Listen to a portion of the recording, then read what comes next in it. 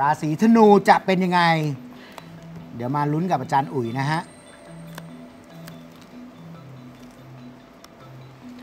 แต่ดูแล้วคมารับทั้งหมดไม่ค่อยไม่มีใครแบบต้องกังวลอะไรนะครึ่งใช่ ปีหลังนะ หรือไม่อาจจะต้องก็สระลับมัดระวังกันไปบ้างเล็กๆน้อมียมีระวัง ๆในบางเรื่อง แต่เนี้ยมี เนี่ยมาแล้ว เอาจริงเหรอนะคะธนูธเนี่ยยังไงก็มีธนูเออ นะคะธนูอะในถ้าเป็นงานอะดีมาก คนที่อืมทำงานเนี่ย คนที่ทำงานเนี่ย จะได้มีการเปลี่ยนงานแต่เปลี่ยนในทางที่ดีขึ้นโอเคนะคะ ถ้าคุณสมัครงานที่ใหม่คุณจะได้งานใหม่ที่ดีกว่าเดิมครับนะคะฮะแล้วก็เจ้าของกิจการอะเกี่ยวกับธนูอะอืมจะมี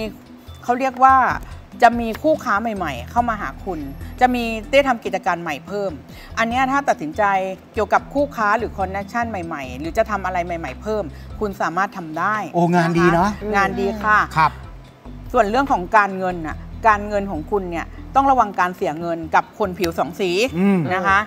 ส่วนเรื่องความรักให้ระวังให้ดี คนที่ราศีธนูอะระวังมีปากมีเสียงกับคนรัก แล้วก็ระวังมือที่สามเข้ามาโอ้โหนะคะโอ้ยมาเจ็บแทรกแทรกตรงกลางแล้วก็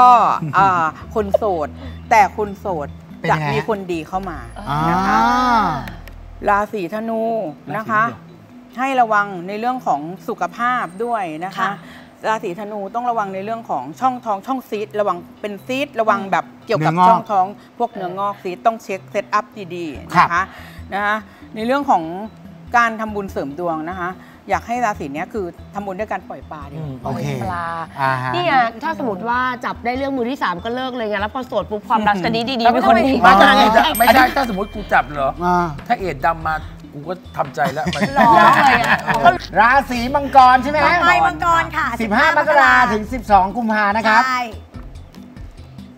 อะ มังกรนะคะ ราศีมังกรเกี่ยวกับการงาน การงานราศีมังกรแบบเรียบง่ายมาก อืมรุ่มๆดอนดอนๆเดี๋ยวเดี๋ยวดีเดี๋ยวไม่ดีสลับกันไปนะคะ แต่ไม่มีอะไรที่เป็นข่าวร้าย หรือไม่มีอะไรที่เป็นข่าวดีเรื่อยๆมากกว่าประคอง อยากให้สี่เดือนหลังอะอ่า ราศีมังกร ประคองดีกว่า โอเคนะคะการงานก็จะเรื่อยใช่ครับส่วนในเรื่องของเจ้าของกิจการเนี่ยจะทำอะไรกับใครให้ทำเป็นคนผิวขาวจะดีมาก ถ้าโอเคมีหุ้นส่วน แต่ฮะถ้าไม่มีหุ้นส่วนนะคะแล้วก็ถามว่าการลงทุนดีไหมเงินดีไหมตอบว่าดีค่ะๆอืมนะคะไปในทิศทางที่ดีในทิศทางที่ดีอืมนะครัคะบกิจการ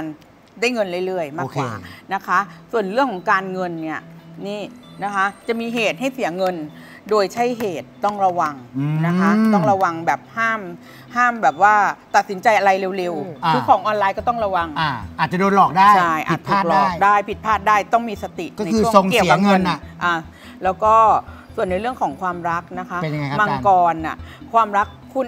คนคุณกับคนรักไม่ค่อยมีเวลาให้กันเลยโอเคต้องหาเวลาให้คนรักนะคะอ่าเพราะว่าตอนนี้คนรักของคุณน้อยใจอยู่อ่า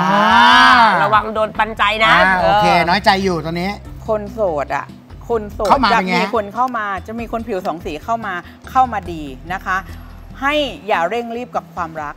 ให้ไปเรื่อยโอเคๆแล้วครับความรักของคุณจะไม่มีปัญหาอ่า จริงนะคะนะครับส่วนในเรื่องของมังกรในเรื่องของ สุขภาพ สุขภาพในเรื่องของตาระวังเป็นตากุ้งยิงระวังแบบตาบวม หรืออะไรเงี้ยเกี่ยวกับตาอืม นะคะ ต้องระวัง โอเคค่ะนะครับแล้วก็ไหว้อะไรดีครับอาจารย์หนุ่ยฮะ มังกรอะวิธีเสริมดวงของชาวราศีมังกรน่ะอยากให้ชาวราศีมังกรน่ะทำบุญเกี่ยวกับพวกผู้ยากไร้คืออมบ้านพักคนชราอ่า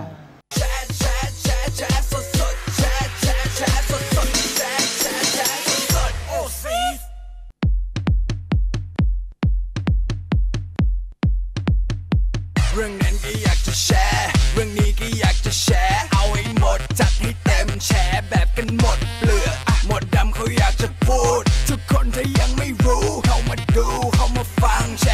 fucking money.